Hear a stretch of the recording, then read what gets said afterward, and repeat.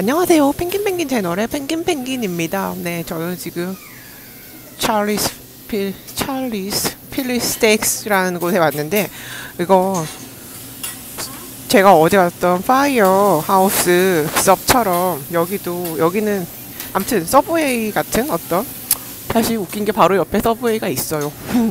근데 여기는 고기가 더 많았고 바로 즉석에서 이렇게 주문하자마자 여기서 철판 철판이죠 철판 구이죠 쉽게 말해서 이걸 주문하면 한 대로 요렇게 요렇게 방식대로 여기 미국 사람들은 더 구체적으로 주문을 한다고 했잖아요 그래갖고 저렇게 다 요리를 해줘요 되게 빵도 부드럽고 되게 좋아하는데 음 우리나라에도 보면은 그 미군 부대 안에는 이게 있어요 이 브랜드가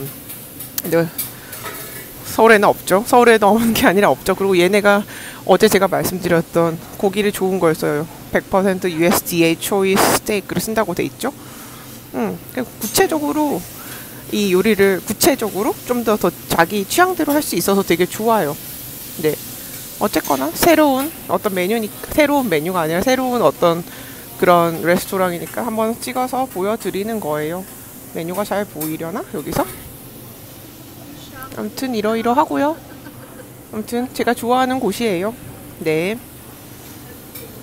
좀 볼까요? 어떻게 하나? 저렇게 해서 빵에 딱 올려요. 응. 그러니까 요렇게 요렇게 해서 딱 모양새를 만든 다음에 초로록 훑어서 올리고. 네. 또 저기도 저긴 또 체다죠. 음. 체다 shred 치즈죠, 저것도. shred 치즈라고 하죠. 어. 저거는 small 사이즈, small 사이즈, 저거는 medium 사이즈. 음, 암튼 그래요. 펭귄 펭귄이었고요. 네, 여기도 보세요. 자기 매일매일 이거 손질해서 잘라 놓는다고 veggies hand cut every day 돼 있죠. choose your toppings.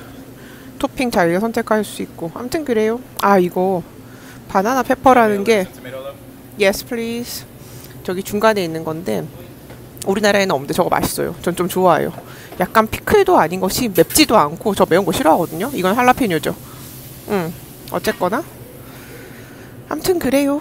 아, 이거 먹을 수 있으니까 되게 좋네요. 아무튼 펭귄 펭귄이었어요. Thank you for watching my video. Thank you for watching my video. 어, 저는 지금 알래스카 페어뱅스에 있어요. 네. Have a good one. Bye.